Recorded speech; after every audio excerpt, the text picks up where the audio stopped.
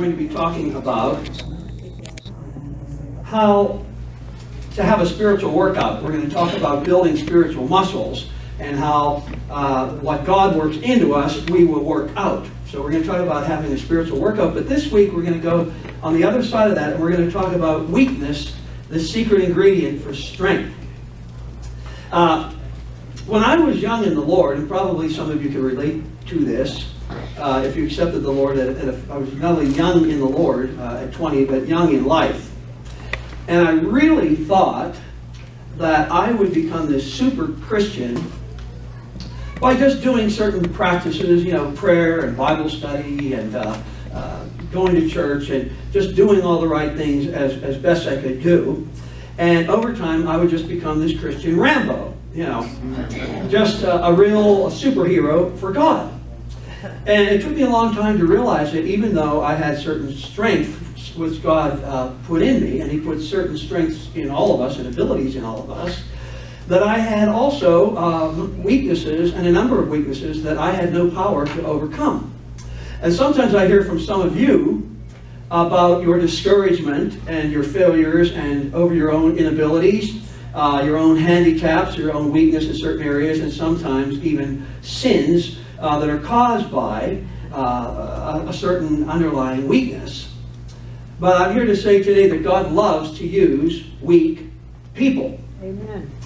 I, uh, as, in preparing this sermon, you know, it's kind of interesting. When I put the Psalms together every week, sometimes I have in my head, uh, I'll think, oh, we haven't done this song for a while, so we're going to put that song in. Or there'll be a certain song that goes along with whatever we're going to be talking about, and I'll put that song in. But it always amazes me when I'm up here starting to sing these songs, how they all come together, how they all have the same kind of theme, and it really, I never, I didn't plan plan it that way, you know. So the Lord really wants to uh, hit us over the head today with this, and I have this book called 50 People Every Christian Should Know, and Stephanie and I were reading it yesterday together in our devotion time, and we were reading about the great hymn writer from the 19th century, Fanny J. Crosby. And if, if any of you grew up in the church, you remember uh, various hymns. Uh, you'll see her name. She was a, a, a, poet that wrote thousands and thousands of hymns. And we, and we were reading, she was born in Putnam County, New York on March 24th, 1820. When Fanny was only six weeks old, she developed a minor eye inflammation, and the doctor's careless treatment left her blind. It seemed intended by the blessed providence of God that I should be blind all my life, she wrote in her delightful autobiography, Fanny Crosby's Life Story. And I thank him for the dispensation. The doctor who destroyed her sight never forgave himself and moved from the area, but Fanny Crosby held no ill will toward him. Quote, if I could meet him now, she would say, I would say, thank you, thank you, over and over again for making me blind. Really? In fact, she claimed that if she could have her sight restored, she would not accept it. She hmm. felt that her blindness was God's gift to her so that she could write psalms for his glory. Quote, I could not have written thousands of hymns, she hmm. said, if I had been hindered by the distraction of seeing all the interesting and beautiful objects that would have been presented to my notice. Hmm. She wrote her first poem when she was eight years old, and here it is. Oh, what a happy child I am, although I cannot see. I am resolved that in this world contented I will be. How many blessings I enjoy that other people don't. So weep or sigh because I'm blind? I cannot and I won't. Yeah. A weakness. A person with a physical weakness that God used. So we're going to go to Exodus chapter 3 if you actually want to follow along in your own Bible. I'll give you a second to turn there and then we'll pray before we come to the scripture. Exodus, just the second book of the Bible, Genesis and then Exodus and the third chapter. Let's pray. Father, we thank you for your word, for it truly is a light unto our path, and um, it guides us and directs us and corrects us. It's our plumb line, Lord, when in the building of our character. And so we thank you, Lord, uh, for the instruction of your word. And we ask today, Father, that we not only hear what you have to say to us, but Father, that you would help us to apply this to our everyday lives. And we ask this in Jesus' name. Amen. Amen. Exodus 3, and we're going to start in verse 7. And what we're looking at is that encounter that Moses had with the living God. And we all know that thing from the Ten Commandments, you know, the burning bush and all that stuff. So the Lord said in verse 7, I have indeed seen the misery of my people in Egypt. I have heard them crying out because of their slave drivers, and I am concerned about their suffering. So I have come down to rescue them from the hand of the Egyptians, and to bring them up out of the land into a good and spacious land, a land flowing with milk and honey, the home of the Canaanites, Hittites, Amorites, Perizzites, Hivites, and Jebusites. And now the cry of the Israelites has reached me, and I have seen the way the Egyptians are oppressing them. So now, go. I am sending you to Pharaoh to bring my people, the Israelites, out of Egypt. But Moses said, Who am I that I should go to Pharaoh and bring the Israelites out of Egypt? Now, maybe you've said that in your own weakness, looking at your own shabby self. God, how can you possibly use me? Well, Moses was a nice little Jewish baby boy who would have been aborted after birth. You know, that's a popular thing going on now in states. We, we don't want to just abort a child when they're two or three months old, but seven and eight months old, and then if the baby's born alive, well, maybe there's a little deformity. Then the mother and her doctor will counsel together and decide, well, if this isn't going to be convenient, it's going to be tough for me to raise a handicapped child, then maybe it would just be better to let the child die.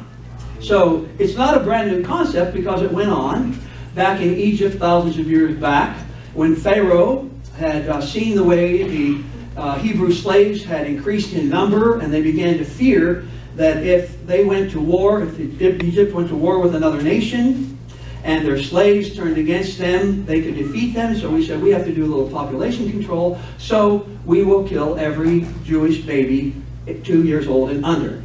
So Moses' mother hid him. You probably all know. She hid him for a while until it became impossible to hide the baby. And then we all know that wonderful story that we remember way back in our Sunday school days, if we attended Sunday school, where Moses' mother took a basket and covered it with pitch, sort of a waterproof uh, substance, and put little baby Moses in there, and then had his sister Miriam follow him as she placed the baby in the basket in the Nile and directed um, Moses, and I believe she did this purposely, toward the princess of Egypt, Pharaoh's daughter.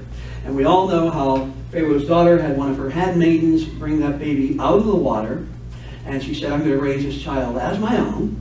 And she named him Moses because that meant coming out of the water. All right? Uh-huh. So now you learned something. So now Moses had an Egyptian mother, and he had his Hebrew mother who came to nurse him for a while until he was weaned.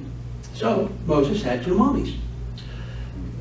See, that's supposed to be a joke. Moses had two mommies. You know what I'm talking about? But in Egyptian, it would be two mummies. All right. Oh. So, he was raised, we know, a prince of Egypt. He grew up in the palace of Pharaoh. Pharaoh is basically just means king.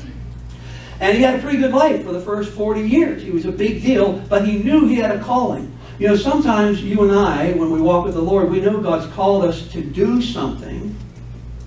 And so he really knew he was going to be the deliverer of Egypt. So at 40, when he saw an Egyptian slave driver beating a Hebrew slave, he took that matter into his hands and he killed the Egyptian slave driver.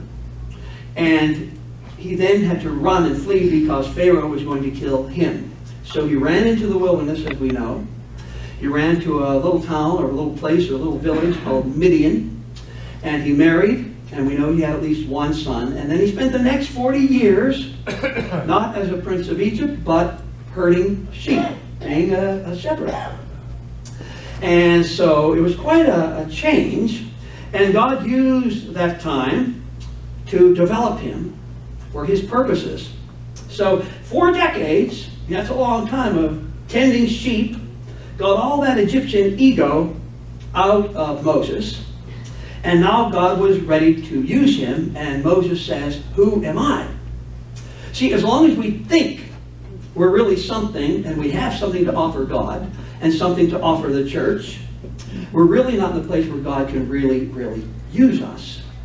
In my years of ministry, 15 years as pastor, I can think of a number of people. but I think of one person in particular. The first Sunday they were here, uh, we were strangers to each other, but he took me aside and he told me, I've been a Christian pastor many years, but he said, I'm struggling with this area. I've got a weakness and I can't seem to shake it. And I thought, wow, this is somebody God can really use because they've come to the point in their lives where they realize that they're powerless. Mm-hmm. And those are the kind of people that God can really use. So, Moses says, Who am I? And then we skip ahead to chapter 4 in this interaction between Moses and God. And we read this Moses said to the Lord, O Lord, I have never been eloquent, neither in the past nor since you have spoken to your servant. I am slow of speech and tongue. Somebody just said that today in our, we are gathered in a circle. They, they said, I'm going to, we'll pray sometimes publicly, but right now I get tongue-tied. Well, this is what the New Living Translation says, Moses said. He said, I get tongue-tied and my words get tangled. So verse 11, the Lord said to him, Who gave man his mouth? Who makes him deaf or mute? Who gives him sight or makes him blind? Is it not I, the Lord? Now go, I will help you speak, and I will teach you what to say. But Moses said, Oh Lord, please send someone else to do it. Man. I mean, he really confesses to God, I'm weak. Who am I? What can I do? See, usually we, you and I, especially Americans, the Western world, we deny our weaknesses. We defend them. We excuse them. We hide them. We resent them. I know in my own life, I did all of those things, all of the above. Hid, excused, you know, didn't like it. But Moses lays all his weaknesses out before God. Do you think God didn't know Moses' weaknesses? Do you think he, you know, God sees us in the shower, people. God knows everything you are, everything you have, everything you're not, you know. And this is exactly why God chose him. He wanted to make Moses aware that you need my strength. You know, to us it would make more sense. Why didn't God call him at 40 when he was so full of himself and boom, ready to go? You know, it's like the bumper sticker that says, hire a teenager while they still know everything, you know? ah, so, we all know what the Lord did through Moses, in spite of his past, that he murdered a man, in spite of his handicaps, that he was not a good speaker, and even in spite of his reluctance to even do what God was calling him to do. Every one of us has weaknesses and imperfections. And sometimes it's a physical weakness, like Fanny Crosby's blindness, or it's emotional problems, or it's intellectual issues, you know. Not every one of us is a Mensa member. Not everyone's a genius. You know, God gives us different levels of intelligence. And sometimes it's, it's a spiritual weakness. God has never been impressed with strength and self-sufficiency. In fact, he's drawn to people who are weak and who admit it. Jesus addresses all of us weak people, and we all are weak. You know, we always say that little Sunday school song, Jesus loves me, yes I know, for the Bible tells me so. Little ones to him belong, they are weak, but he is strong. I never like to say they are weak, I like to sing we are weak, but he is strong. Yeah, we are weak, even when we're not so little anymore. but Jesus addresses this in his, what they call the Sermon on the Mount, but it was really a seminar on the Mount, in Matthew 5, 3, what we call the Beatitudes. The very first one, he says, Blessed are the poor in spirit, for theirs is the kingdom of heaven. When we realize we are weak, when we are empty, that's when we come to Jesus. And I believe also when we stay in that frame of mind, that these are the kind of people Jesus can really use. We're putty in his hands. The Bible's filled with examples of people that God used in spite of the fact that they weren't perfect, that they were ordinary, but God called them to do ordinary, extraordinary things in spite of their weaknesses. Think about Samuel. You know, we talked about Samuel a while back.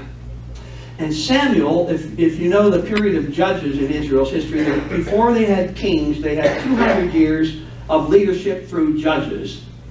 And Samuel was the last of Israel's judges, and he was the first of Israel's prophets. And Samuel was the one man we can look at in the Old Testament that's very hard to find any kind of weakness or sin. A, a really wonderful example of a man devoted to the Lord. But he anointed the first king, Saul, and Saul messed up, so God said, I'm taking him off the throne. His, his uh, descendants will not be used. And I want you to go to Jesse's house and anoint one of his sons. So Samuel heads to Jesse's house and he sees uh, Jesse's first son. And this is what we read in 1 Samuel 16 7. Uh, he first of all says, Surely when he saw Eliab, his eldest son, he said, Surely the Lord's anointed stands here before the Lord. He looked at this guy. He was tall. He was handsome. He looked like a king. And he says, This has got to be the guy. And the Lord says this to him in verse in chapter 16, verse 7 of 1 Samuel. But the Lord said to Samuel, Do not consider his appearance or his height, for I have rejected him. The Lord does not look at the things man looks at. Man looks at the outward appearance, but the Lord looks at the heart. See, in the same way that none of us can see what's going on in our own bodies, but now we're living in an age where there's various medical equipment where they can see all kinds of things that we cannot see just looking at the outside of the body. You know, all that equipment will reveal something that man can't see. And God has that same sort of vision to be able to look at our hearts and our potential. And sometimes even we ourselves cannot see what God sees in us. And we certainly have a hard time seeing what God sees in other people, now don't we? so, God looked at the heart. And after Samuel has gone through seven of Jesse's sons, and each one God says, no, he's not the right one, he's not the right one, he's not the right one we see Samuel saying this there's only one son left. Only one son left. And we could call him the boy least likely to. 1 Samuel 16 11. So he, Samuel, asked Jesse, Are these all the sons you have? Uh, well, there is still the youngest, Jesse answered, but he's out tending the sheep. Samuel said, Send for him. We will not sit down until he arrives. So he sent and had him brought in. He was ruddy with a fine appearance and handsome features. Then the Lord said, Rise and anoint him. He is the one. Now, David, folks, he, he's just a kid. What experience would he have to lead a nation? He's just out with a bunch of sheep. But God's using that time in his childhood and into his adolescence to train him. And God has more training in store for him but he's anointing him way back there. I can relate to that because I knew God called me when I was 23, but God had so much to get out of me before he could use me in any way. So he took a few decades to get me straightened up. So, that's the way it is with David. Now, we're talking about in weakness, we're not talking about a chronic sin, but we are talking about a weakness that can cause you to sin. Sometimes that's the underlying issue that, that causes you to, to do drugs, do alcohol, uh, sexual promiscuity, pornography. It's, sometimes it's, it's lack of self-esteem, you know, some weakness in you that causes it. And don't we love the stories of the ne'er-do-well that makes good? Like Rocky, remember Rocky? You know, kind of the over-the-hill boxer, nobody knows about him, and, and Philadelphia, and then we all know the story and how he drank all that raw egg in the morning and then started running around all over Philadelphia and up those stairs naked, that thing, you know. We love it, right? Don't we love it? Yeah. The loser in high school that nobody paid any attention to comes back 20 years later to the reunion and he's suddenly somebody. Yeah, we love that. The nerd that marries the prom queen. Yeah. I think about Condoleezza Rice a number of years ago. Stephanie and I were at a conference and she was one of the speakers, Secretary of State Condoleezza Rice. And as a black girl, who's basically in my age bracket, who grew up during the 50s and 60s, uh, not only a, a, a, black girl, but a, but, but a female. You know? And as she says herself, she, she was not able to sit at the lunch counter in Montgomery, Alabama, because she was black. And she rises to become Secretary of State under George W. Bush. And I love the fact that she, that she was able to talk about that without bitterness, able to talk about it more with wonder of how God could take somebody that nobody would have expected years back and bring them up to that kind of level. And it's not that she, these were imperfect imperfections in here. It's just that that's what society at that time, back in the 60s and 70s, those opportunity, opportunities just were not happening. So if God used only perfect people, there'd be nobody to use because none of us are flawless, right? When you think of a limitation in your own life, you might be tempted to say, God can never use me. But let me say this God is not limited by our limitations. I'm going to say it again. God is not limited by your or my limitations. Many in this congregation are 50 and over. And so you think age might be a handicap. My Dutch friend Rita, I met her way back around 1977. She was in her late 30s then, had come out of show business, found Jesus in a Chinese restaurant in Florida, and was new in the Lord. And over the years, I've watched her uh, mature in the things of God. And for many years, she's had a dynamic prayer ministry, a prophetic prayer ministry. It's not for sissies. She just turned 80. She's going strong. Still at it. Or I think about the Ten Boom sisters, Corrie Ten Boom, that was in her mid-50s, living a very quiet life. She was a lady who never married. Her sister Betsy never married. When we first hear about her life, they're, both the sisters are in their 50s. Corrie's about 54. Lead, leading this quiet life. She works in her father's watchmaker shop. She, um, her sister tends the house. They live with their aged dad. They're living this quiet, again, Christian life. She, uh, Corrie teaches the Bible to uh, mentally handicapped children. And then the Nazis move in and they occupy Holland.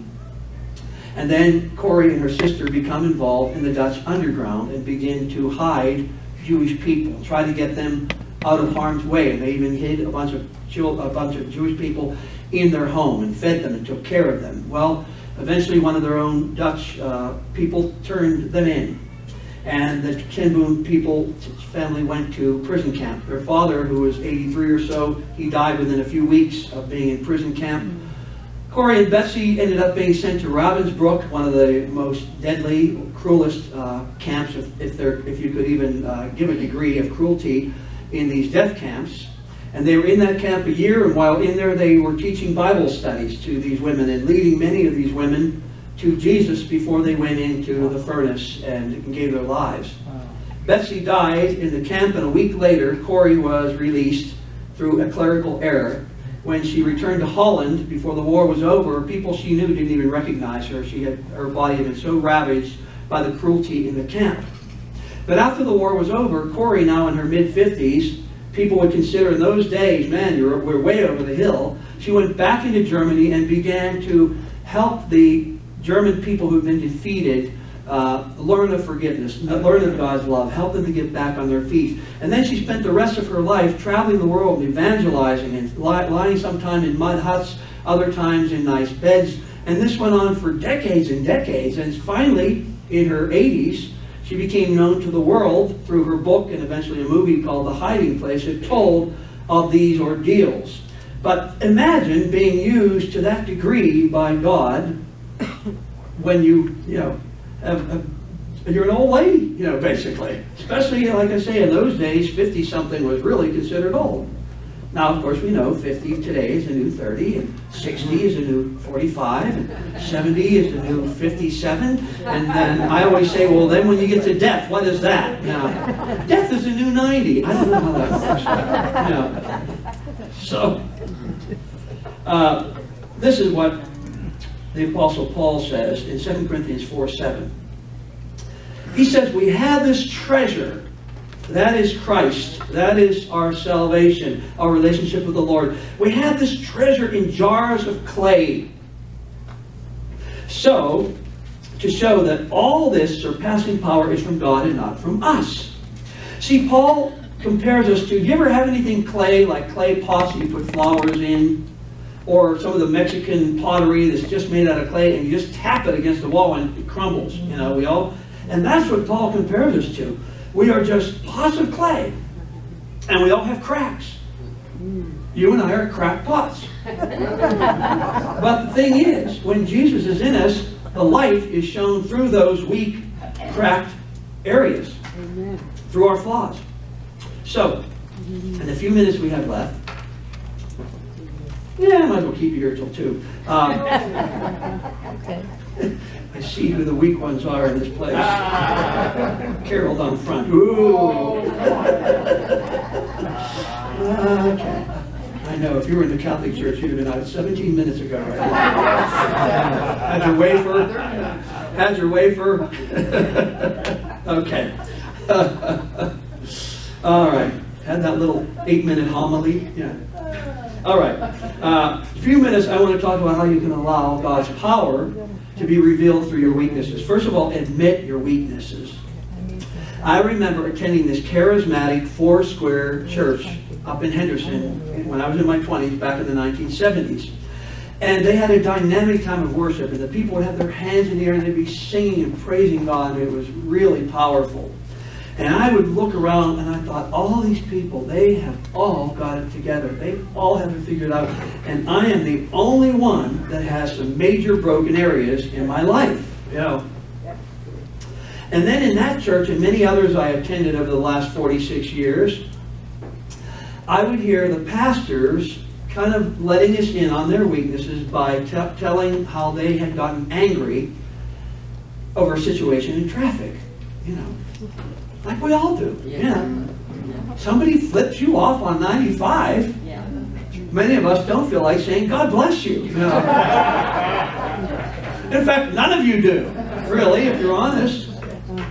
And I would hear them tell these little stories, and I would think, I have, oh, I'm so much more broken than that. I mean, tell me something that's going to help me, you know. So, you know, I, I discovered that Again, it took me a lot of years to realize that these weaknesses are exactly where God wants us. Yet the Apostle Paul, one of the greatest men of God, probably the greatest example of a man that followed Jesus since Jesus, or beside Jesus, he wrote of his own weakness, and he says this in 2 Corinthians 12, 7 through 10. He says, to keep me from becoming conceited because of these surpassingly great revelations. See, God gave him revelations. God will do things in every one of our lives that, that could make us feel a little bit puffed up. Sometimes, even as Christians, after we walk with the Lord a while, we become a little pharisaical. We look at other people and think, oh, isn't that, the, isn't that terrible? Know? So he says, to keep from becoming conceited, there was given me a thorn in my flesh, a messenger of Satan to torment me. Three times I pleaded with the Lord to take it away from me. Now, every time I used to read that, I would think three times, 3,000 times, a lot more than three times I prayed. But he said to me, My grace is sufficient for you, for my power is made perfect in weakness. And then Paul goes on to say, Therefore, I will boast all the more gladly about my weaknesses, so that Christ's power may rest in me. That is why, for Christ's sake, I delight in weaknesses, in insults, in hardships, in persecutions, in difficulties. For when I am weak, then I am strong.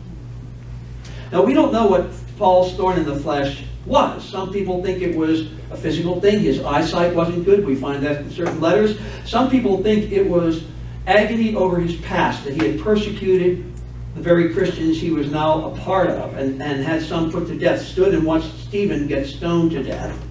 Uh, maybe that was haunting him. Others think it was the persecution he went through, predominantly from his own people, the Jews, but also from Gentiles. But the Holy Spirit keeps it secret from us so that we say, well, maybe Paul's weakness was the exact same thing that I deal with.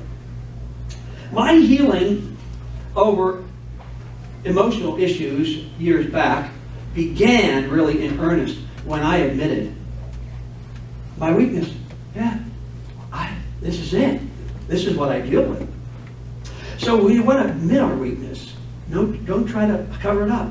Second, be content with your weakness. 2 Corinthians 12 said, again, repeating what Paul said, Therefore I will boast all the more about my weaknesses so that Christ's power may rest in me. And that is why, for Christ's sake, I delight in weaknesses. I thought what I went through was the greatest curse anybody could have, and the greatest curse in my life, my helplessness. But it turned out to be one of the greatest blessings in my life partly because of what weakness does for us. I'm going to run through these quickly. First of all, weakness makes us depend on God. Weakness makes us depend on God. Years back, uh, on our honeymoon, uh, Stephanie and I went to this Episcopalian church because our friend attended it, and she said her pastor had come out of drugs and alcohol. And I thought, I got to hear this guy because when you go from drugs to the pulpit, you've got some power. And I just never heard that kind of dynamic preaching because that's somebody who came out of a weakness. And you see power coming out of that kind of a person. And that's what made, gave me a hunger for God was really not that everything went well in my life or that I was strong in every area, but that weakness drove me to God. Secondly, our weaknesses also prevent arrogance. Paul said to keep me from becoming conceited because of these blah, blah, blah revelations. None of us can think we're better than somebody else when we look at ourselves and our own weaknesses. Thirdly, our weaknesses encourage fellowship with other believers, while strength breeds in an independent spirit. Weakness draws people together. AA, Weight Watchers. Yeah. When you hear those other people in that room all talking about how they had to pass up a hot fudge sundae, you can relate. You know. support groups. And you know, the church really is just a big support group. That's why we're here. We need support. Vance Havner said this Christians, like snowflakes, I'm not talking about those college kids, I'm talking about this stuff. Christians, like snowflakes, are frail, but when they stick together, they can stop traffic. Fourthly, most of our weaknesses increase our capacity for sympathy and ministry. We're far more likely to be compassionate to people when we know our own brokenness. And I know that's true in my life. I never struggle with alcohol. I never struggle with drugs. There are many things that I did not struggle with, but because of my own weakness, my own struggles, I have a heart for people who have a compulsion to do something that's screwing up their lives. Your greatest life messages and your most effective ministry will come out of your deepest hurts. The things you're most embarrassed about, the things you're most ashamed of, the things you're most reluctant to share are the very tools that God can use most powerfully to heal others. The secret I thought I would take to the grave has brought so much healing in other lives. When I've spoken places, nearly every place I've ever revealed my weakness, I've seen people with looks of gratitude in their faces. It's because they just need to know there's other people that are dealing with it. Wow. So we need to share your weakness. Erin Andrews, the sportscaster and the host on Dancing with the Stars, for those who watch that, said admitting your weakness does not diminish your strengths, it shows your courage. So we need to delight in our weaknesses because people will find healings in your wounds. Hebrews 4.15 also says this, We do not have a high priest who is unable to sympathize with our weaknesses. Isn't that wonderful? That Jesus is able to sympathize with all these broken areas in our lives. Now before we close, I want to take you to 1 Corinthians chapter 1, starting in verse 26. And I'm going to close with a little reading that I think you'll enjoy. 1 Corinthians 1.26, Brothers, think of what you were when you were called. Not many of you were wise by human standards. Not many were influential. Not many were of noble birth. But God chose the foolish things of the world to shame the wise. God chose the weak things of the world to shame the strong. He chose the lowly things of this world and the despised things, the things that are not, to nullify the things that are, so that no one may boast before him. It is because of him that you are in Christ Jesus, who has become for us wisdom from God, that is, our righteousness, holiness, and redemption. Therefore, as it is written, let him who boasts boast in the Lord. I want to close with a little letter. This was addressed to Jesus, son of Joseph, the address Woodcrafters Carpenter Shop, Nazareth, 25922. it's from the Jordan Management Consultants. Dear sir, thank you for submitting the resumes of the 12 men you have picked for managerial positions in your new organization. All of them have taken our battery of tests. And we have not only run the results through our computer, but also arranged personal interviews for each of them with our psychologist and vocational aptitude consultant. It is the staff opinion that most of your nominees are lacking in background, education, and vocational aptitude for the type of enterprise you are undertaking. They do not have the team concept. We would recommend that you continue your search for persons of experience in managerial ability and proven capacity. Simon Peter is emotionally unstable and given to fits of temper. Andrew has absolutely no qualities of leadership. The two brothers, James and John, the sons of Zebedee, place personal interest above company loyalty. Thomas demonstrates a questioning attitude that would tend to undermine morale. We feel it is our duty to tell you that Matthew has been blacklisted, by the Greater Jerusalem Better Business Bureau. James, the son of Alphaeus, and Thaddeus definitely have radical leanings, and they both registered a high score on the manic depressive scale. One of our candidates, however, shows great potential. He is a man of ability and resourcefulness, meets people well, has a keen businessman, and has contact in high places. He is highly motivated, ambitious, and responsible. We recommend Judas Iscariot as your controller and right-hand man. All of the other profiles are self-explanatory. We wish you every success in your new venture. Sincerely, Jordan Management Consultants.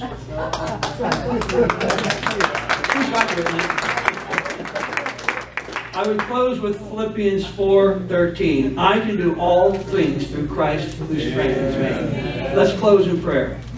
Father, we thank you that though we are weak, you are strong. Lord, help us to recognize the blessing of these broken, weak areas in our life. Help us to recognize when there are difficulties that makes us depend on you, Lord. Help us to recognize, Father, it's through the very places that we're embarrassed of, that we're ashamed of, that we wish we didn't have, that you will use us in the same way, Lord, that you called Moses after you got that confident attitude out of him and brought him into a place of humility and dependence on you.